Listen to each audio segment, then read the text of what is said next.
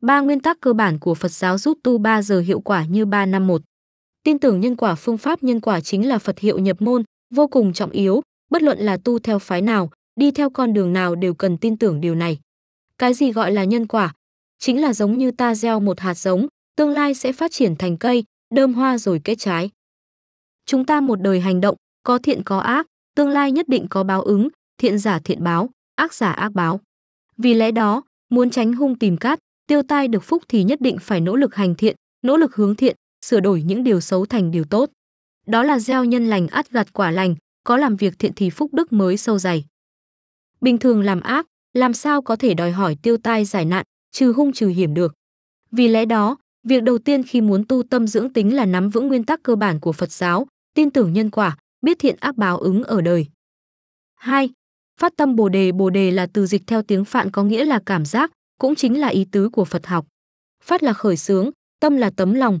Như vậy, phát tâm Bồ đề tức là người khởi xướng tấm lòng Bồ đề, khởi xướng trái tim thành Phật. Tại sao lại thành Phật?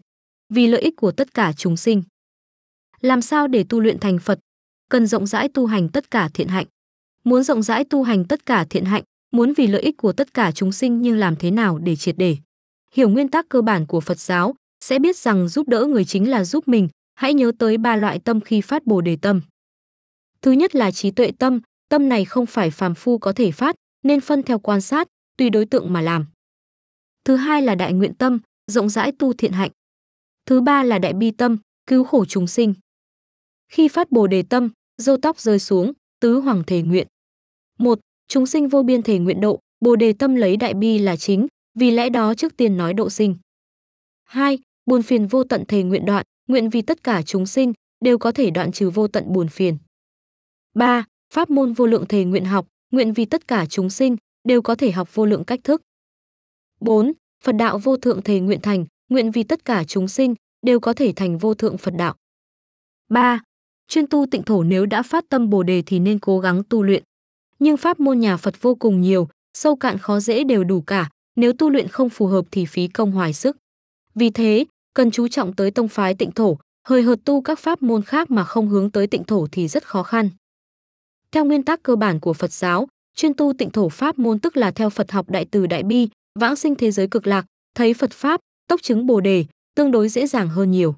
Vì lẽ đó Long Thụ Bồ Tát từng nói, trước học khó sau dễ hành đạo. Một số thư tịch của pháp môn tịnh thổ nên tham khảo là Sơ cơ tịnh nghiệp chỉ nam, Ấn Quang Pháp Sư Giang Ngôn Lục, Ấn Quang Pháp Sư Văn Sao.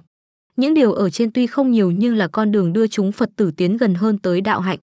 Tu là quá trình lâu dài, khó khăn và nhiều lần hải vượt qua chướng ngại. Làm người dưỡng tính sửa tâm, hướng tới Phật học giống như leo núi, núi càng cao leo càng khó nhưng thành quả càng viên mãn. Quan trọng là tìm đúng con đường để leo núi thuận tiện và tới đích hanh thông.